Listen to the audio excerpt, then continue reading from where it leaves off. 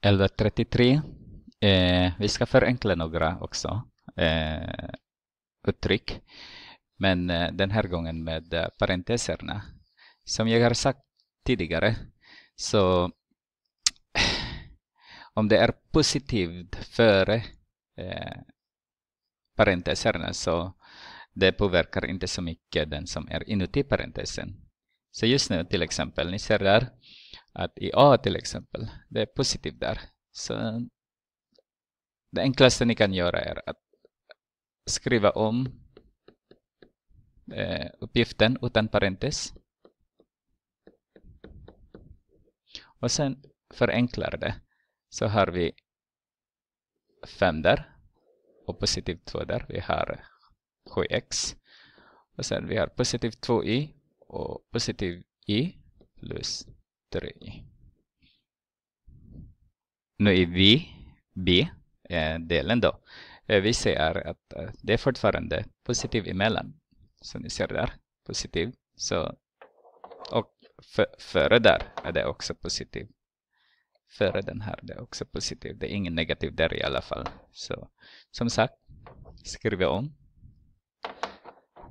Utan parentes. Så vi har 3x minus 2y plus 4x minus 2i. Så har vi positiv 3x där och positiv 4x där. Så har vi positiv 7x. Vi har negativ 2i där och negativ 2i till.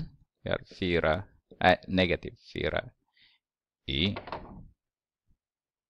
C däremot har negativ före parentesen. När det händer så, antingen du multiplicerar alla negativ till eh, parentesen eller bara ändra eh, tecken av domtalet eller termen inuti parentesen. Och sen i samma veva så tar man bort eh, eh parentesen då. Så vi har 9i. Just nu är det positiv i här. Den här är positiv i just nu. Och det ändrar vi till negativ 5i. Och sen just nu, som ni ser där, vi har positiv 3i.